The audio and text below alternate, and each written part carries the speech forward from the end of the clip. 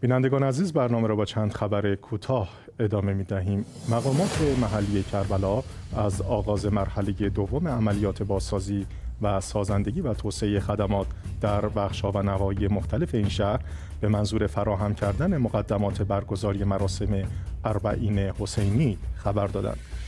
نصیف جاسم الخطابی استاندار کربلا تصریح کرد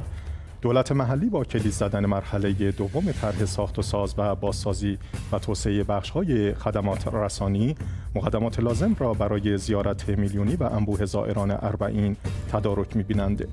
وی خاطر نشان کرد مقدمات اولیه برای برپای مراسم اربعین شامل ارائه کلی خدمات لازم در سطح شهر در نظر گرفته شده به ویژه اینکه هر ساله بر خیل زائران اربعین افزوده می شود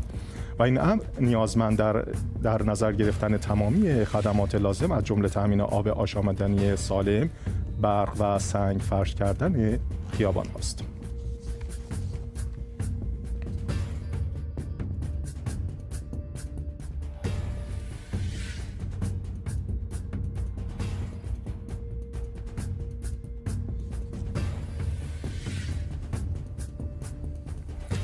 آخرین مطالعات درباره وضعیت فرونشست در استان خراسان رضوی نشان می‌دهد که پهنه‌های فرونشستی در این استان پنج برابر وسعت فرونشست‌های اصفهان است که جزو استان‌های وسیع فرونشست محسوب می‌شود. این فرونشست به سمت شمال غربی شهر مشهد رسیده و وارد شهر شده که نرخ آن حدود 20 سانتی متر در سال است و به تدریج به مرکز شهر توسعه و حوالی حرم امام رضا علیه السلام و اماکن مذهبی را درگیر می کند. در حال حاضر استان خراسان رضوی رکورددار کشور از نظر وسعت پهنه‌های فرونشستی است و این فرونشست ها در بلند مدت ویرانگر خواهند بود و دلیل اصلی آن هم افت سطح آب زیرزمین است که در برخی از استان ها این موضوع به مرز بحران رسیده است.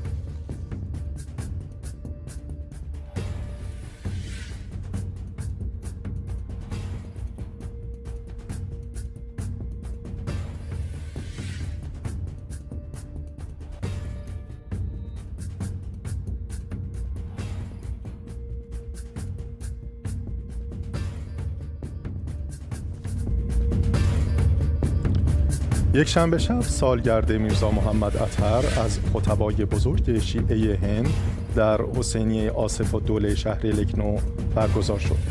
حضور شیعیان در این مراسم نظیر عنوان شده و گویا در نادرترین موارد این مرکز که بزرگترین حسینی جهان است مولو از جمعیت شیعیان هند شده است. میرزا محمد اطهر در مسجد ایرانیان بمبئی به مدت 58 سال دهه محرم سخنرانی می‌کرد او در ژانویه سال 2005 میلادی قانون احوال شخصی شیعیان هندوستان را تأسیس کرد تا حقوق شیعیان در یک کشور غیر اسلامی محفوظ بماند. میرزا محمد اتر در 26 فوریه 2016 میلادی از دنیا رفت و در لکنوی هند به خاک سپرده شد. درگیری دو قبیله در سومالی 55 کشته و 155 زخمی بر جای گذاشت. ساکنان محلی از توقف درگیری پس از ورود نیروهای دولت فدرال سومالی خبر دادند با این حال تاکید کردند که آتش بس برقرار است اما فضا خوب نیست و نیاز به آتش بس دائمی وجود دارد شایان ذکر است که دولت فدرال سومالی در تلاش است تا نه تنها خشونت ناشی از حملات مسلحانه گروه سنی های تندروی الشباب که با سازمان تروریستی القاعده در ارتباط است بلکه درگیری های میان قبایل بر سر کنترل زمین و آب در این کشور واقع در شاخ آفریقا را نیز مهار کننده.